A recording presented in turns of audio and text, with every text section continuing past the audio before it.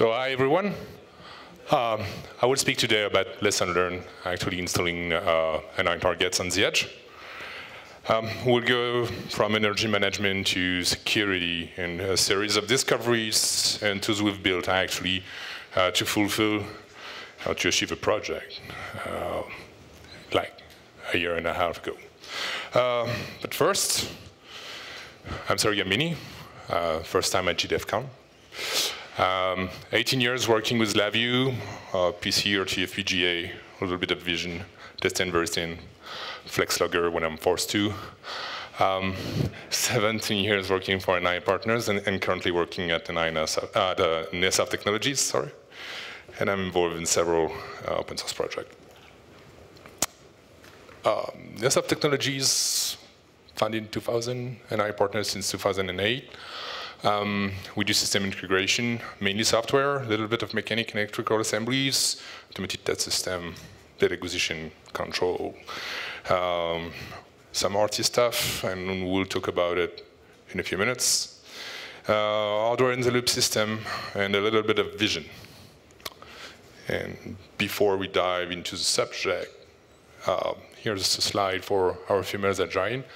Uh, please meet Laurie Kirk, security researcher at Microsoft, conference speaker, industry mentor, and she said something lately.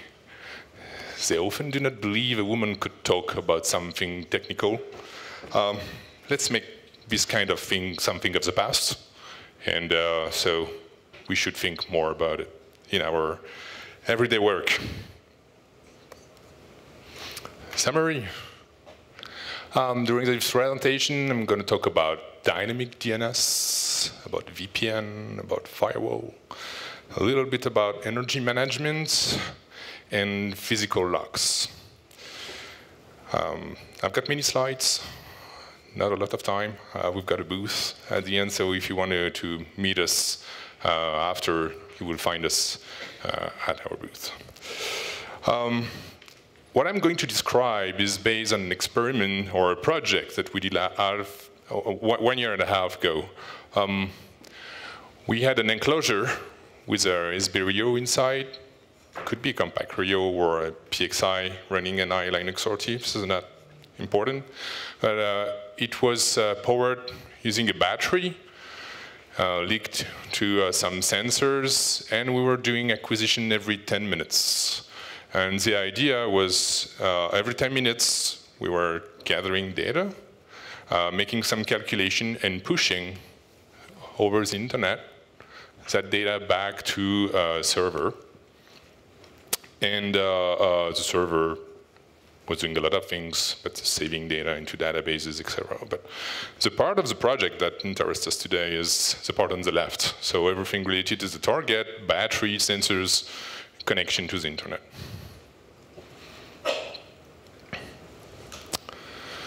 And we had some requirements, and the idea was to be able to communicate with the targets over the internet. We had to secure and encrypt uh, the communication, try to prevent unattended access, software and hardware, but also preserve battery energy as much as possible. So since it was connected to battery, the idea was to actually be uh, very light on energy and uh, have a battery life as long as possible.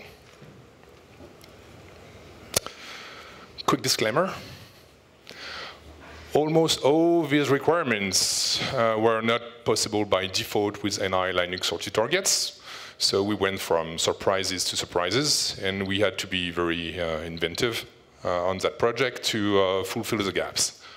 And uh, we'll go through some of the problems faced and uh, we'll see the solution we came up with. First one, uh, how to access the target over the internet. Uh, so you may know when you connect a device to the internet, it has a public IP. Often we know the private IP inside our network, but every device has a public IP when it pushes things out on the internet. Uh, you have to know the public IP of your target if you want to communicate with it. Uh, sometimes some uh, providers change your public IP over time, and so you have to track it. It's not that easy, and can be problematic for people.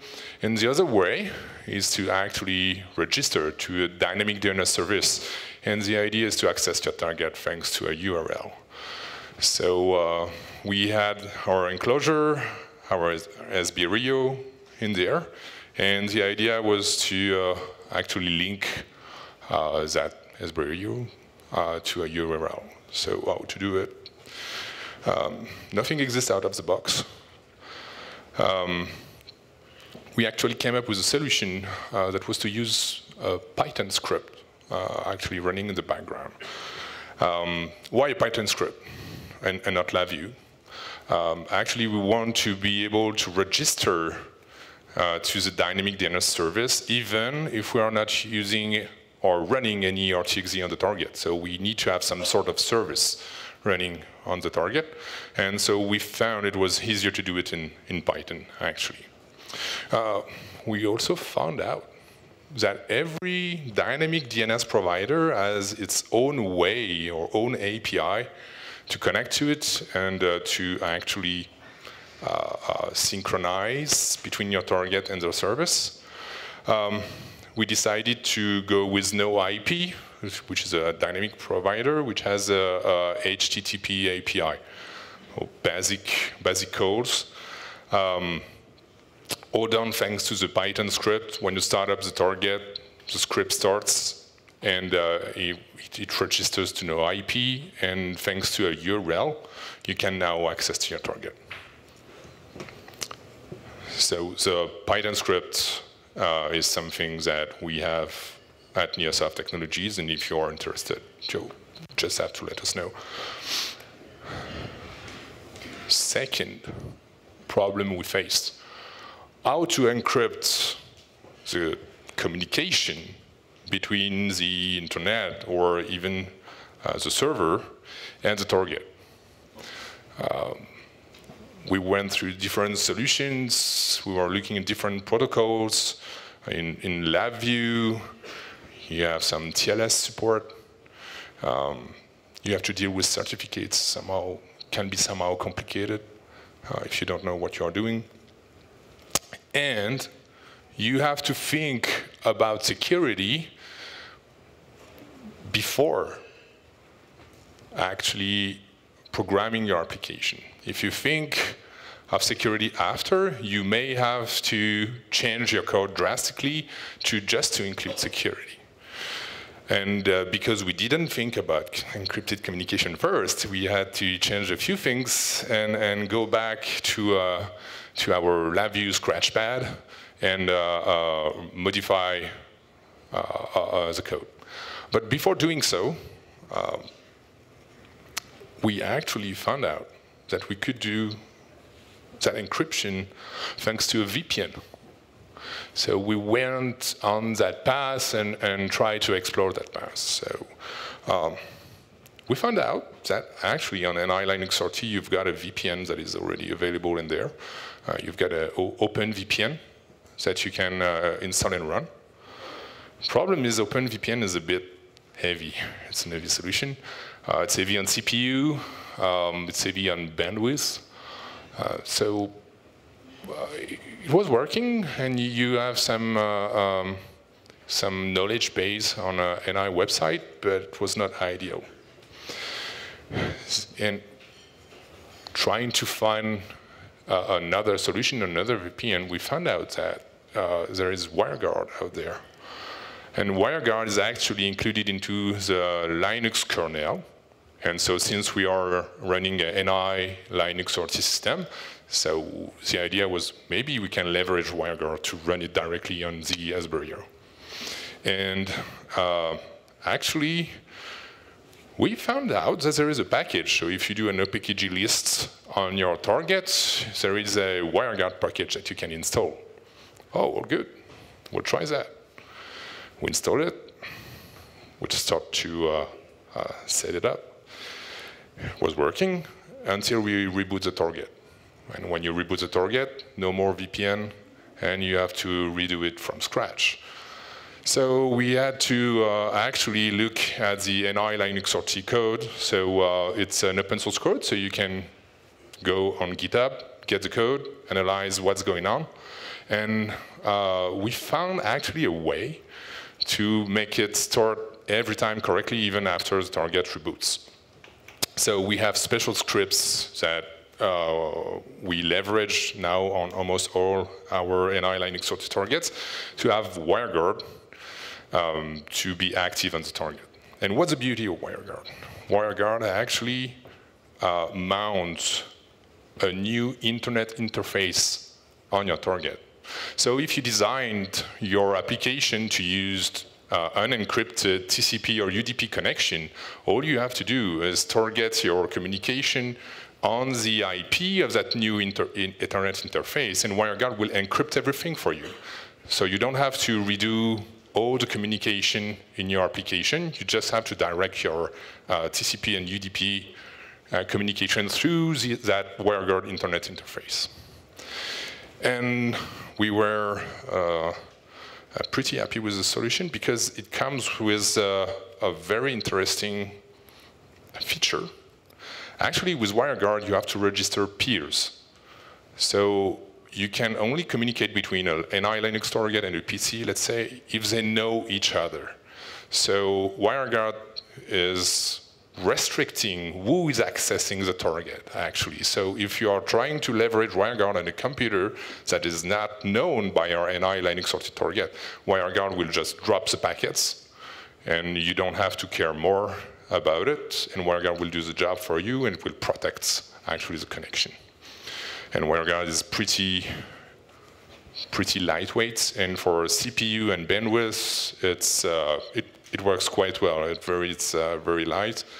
Um, we've been able to stream data at 800 megabit per second through WireGuard using a 9629 sbRIO, so it works quite well.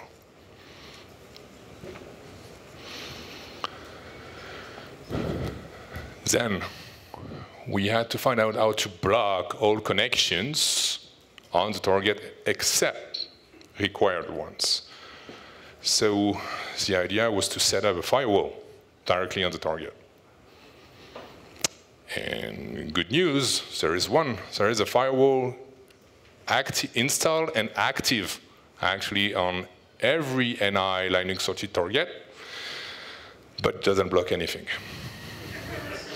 the way it is set up, uh, the firewall says, hey, you want to come? Come in. You're welcome. Okay? So um, we found out that we should change that, actually. And uh, we should block everything except required connection. And it was not easy to set up. Uh, so firewall that is available on NI Linux RT is named iptables, and iptables is kind of hard to set and uh, you can lock you out of the device. So if you send a bad command, actually, you can actually completely block your SSH connection. You are out of the device, and the only way to restore connection is to actually format your target. Um, so yeah, this is not really useful. Uh, so the idea was to leverage iptable, but in an easy way. So we worked on a solution to make it easy we are LabVIEW developers. We are not uh, Linux gurus, and Linux commands are not really my friends. I prefer to check boxes and uh, draw wires and connect terminals, etc. So the idea was to uh, create a solution that was graphical to actually set the firewall. So here what you see is a dialog that you see into your SSH console and you can just click the services that you want to uh, actually authorize to go through the firewall. And if you have uh, specific UDP or TCP ports in your application, you can also list them. And behind the scene, a script will set the firewall for you. So for you, it's pretty easy. You don't have to deal with iptables anymore. The script is doing all for you, and you just have to check uh, what are the services that you want to uh, authorized through the firewall. And so the script will block everything except what you check.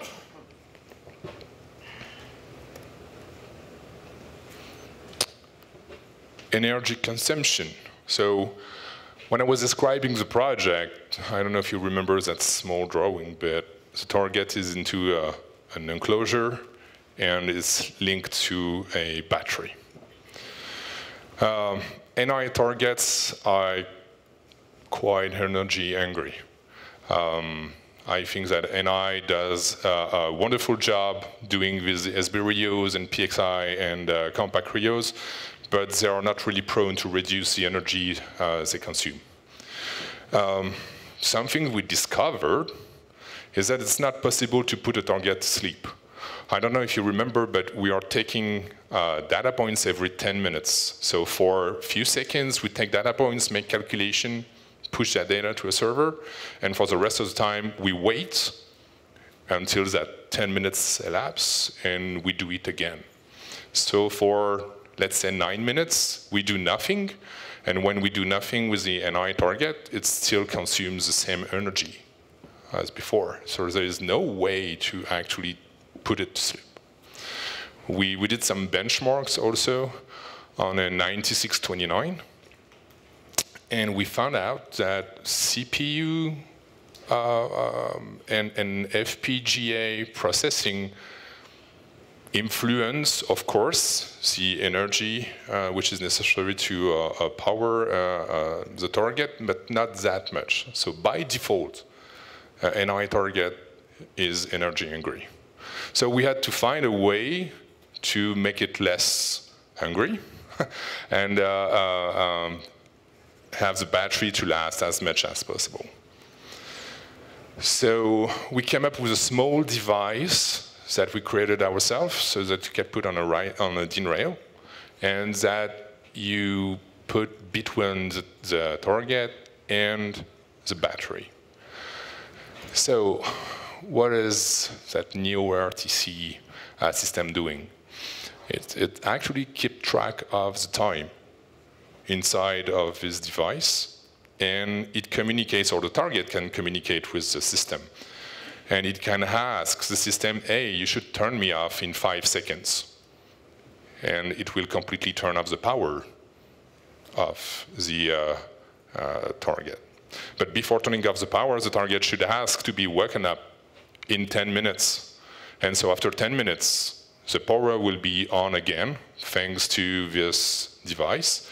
And since your target uh, is running a RTXE that is set to run on startup, it will be magic, so your code will start again, and it will do the job. And the target itself, once the uh, data points are collected, can ask to be put to sleep again since we are stopping the target completely, so the power is off completely, and maybe you know, but the RT uh, uh, part of NI uh, uh, targets is not good at keeping time. It, uh, it can drift a lot. Uh, we, we have a very precise RTC into the device, and the target can ask the device for the current time and just resynchronize again and to have the current time. So we had to come up with an additional device to actually solve uh, this problem.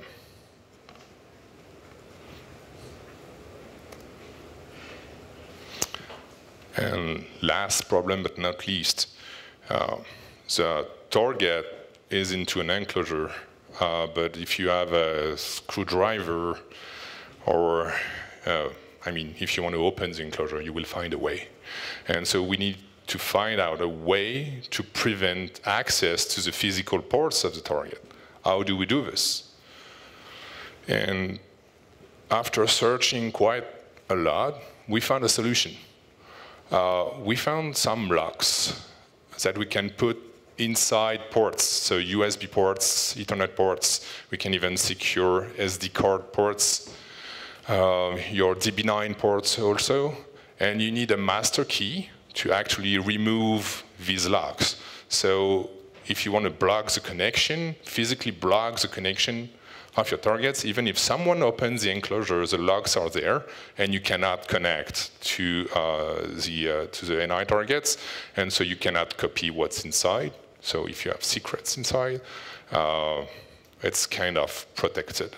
We also have logs, it's not shown here in the picture, but we have logs to prevent people from removing an internet cable, an, Ethernet cable. And so nobody will just uh, remove the cable and let it there. So once connected, it will, it will stay connected. And so uh, this is something that we, are, we have here, and we can demo it if you're interested. But uh, it really enhances physically the security of these targets. And once applied, all these solutions uh, allowed us to enhance security of NI Linux RT targets, and we were able to deploy the system on the field. And that's it.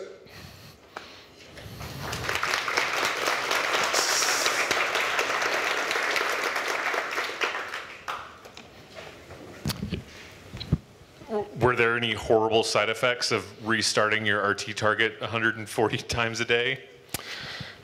I was afraid of that, uh, but not that much actually. And uh, it's even better than I thought because sometimes we have some newbies doing the RTXE and not matching correctly the memory.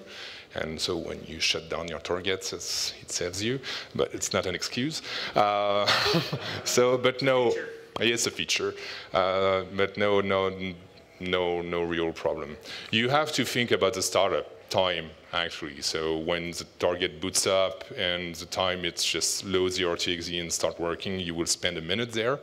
But if you if you have nine minutes sleeping, it's that much energy that you can keep into your battery, and so you extend the life of your system.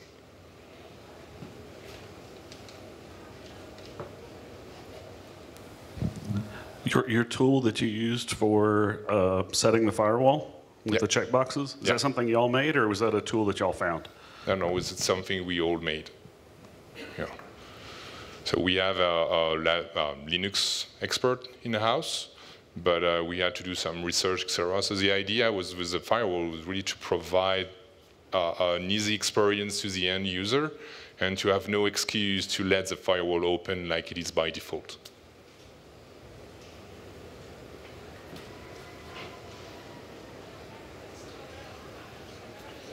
All good. Thank- All right, thank you. Thank you very much.